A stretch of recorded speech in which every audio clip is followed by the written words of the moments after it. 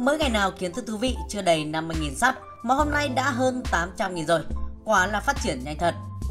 Đây là lời nhận xét của rất nhiều khán giả thân yêu dành cho kiến thức thú vị. Thế nhưng, liệu đây có phải là một sự thành công hay vẫn là thất bại? Câu hỏi này thực sự rất khó để trả lời. Thế nhưng, trong video hôm nay, mình sẽ chia sẻ với các bạn về việc tạo ra một video để đăng lên kiến thức thú vị. Nó dễ hay khó, phức tạp hay đơn giản. Vừa là để các bạn hiểu được phía sau một kênh kiến thức thú vị và cũng là để kỷ niệm một năm 2020 đầy những thăng trầm. Nói về việc sản xuất video, mình nghĩ rằng nó khá phức tạp. Thực ra thì mình đã rất nhiều lần stress nặng, nhiều ngày không muốn làm video.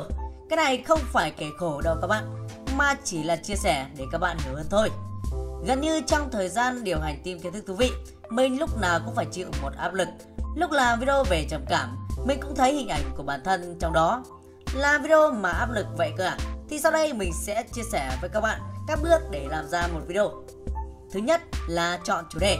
Bước đầu này nói dễ thì cũng rất dễ, nhưng bảo khó thì khó vô cùng. Dễ là bởi vì có cả tỷ loại kiến thức để chia sẻ, nhưng khó là phải chọn ra cái gì mà người xem quan tâm Họ có quan tâm thì mới có nhiều view, mới xứng đáng với công sức mình bỏ ra. Thực ra thì mình biết có rất nhiều cái mà người xem quan tâm, như đưa thông tin về các sự kiện hot, ví dụ như trí tài, hay nói về lòng tự hào dân tộc, như người ta với người Trung Quốc, hay nói về mâu thuẫn, ví dụ như nước nọ yêu hay ghét Việt Nam, vân vân, rất là nhiều. Thế nhưng hầu như những chủ đề này mình thấy nó không hữu ích lắm. Nếu nó không gây ra mâu thuẫn giữa các nước làm dân nước này ghét dân nước kia, nó cũng cộng hưởng gây ra nhiều hệ lụy xấu như vụ trí tài. Vì đưa tin đám tang quá nhiều mà càng ngày càng nhiều youtuber bất chấp để có view. Thế nên chọn được kiến thức gì vừa bổ ích cho người xem lại vừa hay vừa có nhiều người quan tâm là vô cùng khó. Đây là bước khó nhất và áp lực nhất. Các bạn thấy những kênh chia sẻ về kiến thức rất hữu ích, rất trong sạch thì hầu như khô khan và chẳng có view. Sớm muộn họ cũng từ bỏ gần hết. Thường thì team làm nội dung đưa ra 5 chủ đề, sau khi thống nhất chỉ chọn được một mà cũng có thể là không. Rồi, sau khi chọn được chủ đề thì bước thứ hai là viết nội dung. Muốn viết được nội dung hay để người xem theo dõi từ đầu đến cuối, không bỏ giữa chừng cũng khá khó, nhưng viết nhiều thì cũng quen. Cái khó ở đây là làm sao để có kiến thức chuẩn và đầy đủ. Việc tìm hiểu đủ kiến thức đã mất thời gian, mà đôi khi còn có những số liệu với nhau hoặc những thông tin còn đang tranh cãi việc lựa chọn và tổng hợp sẽ gặp phải nhiều rắc rối. Có đầy đủ lượng kiến thức rồi, tiếp theo lại phải làm sao để trình bày thật dễ hiểu, làm sao để một người không có chuyên môn cũng hiểu được. Cái này lại càng khó hơn. Trong quá trình trao đổi với team làm nội dung, hầu như rất ít bài viết mà mình không phải sửa, thậm chí thay đổi toàn bộ bài viết hay nhiều bài còn phải bị bỏ hẳn vì nó quá khó để người xem có thể hiểu được. Tiếp theo nữa là thu âm. Bất bí với các bạn là MC của kiến thức thú vị cũng là admin chính. Mình tự thấy giọng của mình không phải xịn lắm, không hay như MC truyền hình.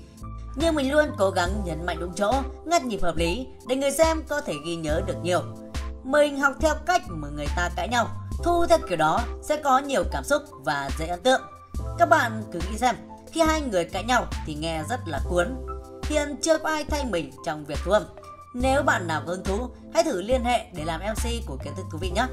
Thu âm thì không khó lắm, nhưng cách thu của mình nhanh bị đau họng, một ngày chỉ thu được khoảng 30 phút.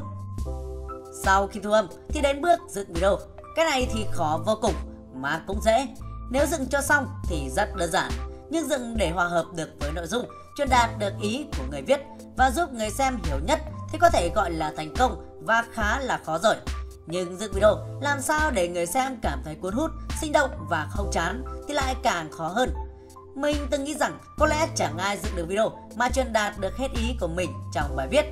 Lúc đầu thì căng thẳng lắm, nói nặng lời với nhau, cảm giác như vì cái video mà tình cảm đi xuống luôn. Thế nhưng cố gắng đào tạo mãi, khoảng nửa năm sau thì cũng thấy ưng và đến bây giờ thì yên tâm giao lại phần dựng video cho các bạn ấy rồi. Do vậy thì nhiều lúc vẫn phải chỉnh sửa hoặc thay đổi đôi chút.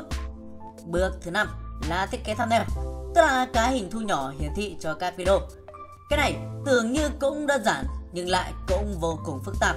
Cái hình này cực kỳ quan trọng, nó quyết định đến 50% sự thành bại của video. Nhờ video mình cho là rất hay, nhưng vì cái hình quá mờ nhạt, không ấn tượng nên chẳng ai xem. Ngược lại có nhiều nội dung chỉ vì cái hình mà lại rất thành công. Thiết kế thăm đẹp hay xấu, cuốn hay không lại còn phụ thuộc vào trình độ Photoshop và con mắt thẩm mỹ kết hợp với hiểu tâm lý và nội dung video nữa.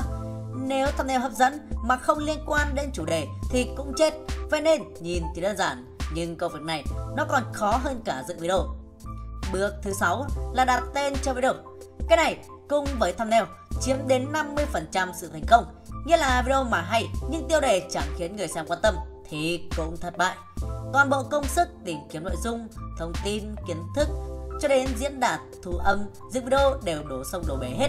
Cho nên nó cực kỳ quan trọng và cũng rất khó. Ngoài ra thì còn nhiều bước nho nhỏ nữa. Như vậy các bạn thấy ra một video cho kiến thức thú vị thì dễ nhưng chẳng ai muốn ra video mà không muốn có người xem. Cho nên để video hấp dẫn, team của kiến thức thú vị đã dành rất nhiều tâm huyết. Đôi lúc đăng video lên, ai cũng vào đầu vì thất vọng, video chẳng có ai xem. Thế nhưng cũng có lúc mừng đến phát khóc vì không những video được nhiều người xem mà còn được khen, được nhiều người cho là bổ ích. Điều đó thực sự làm kiến thức thú vị rất hạnh phúc. Cảm ơn mọi người đã đồng hành cùng kiến thức thú vị trong năm vừa qua. Mong rằng các bạn sẽ tiếp tục ủng hộ kiến thức thú vị để chúng mình được hân hạnh phục sự các bạn. Xin chào và hẹn gặp lại.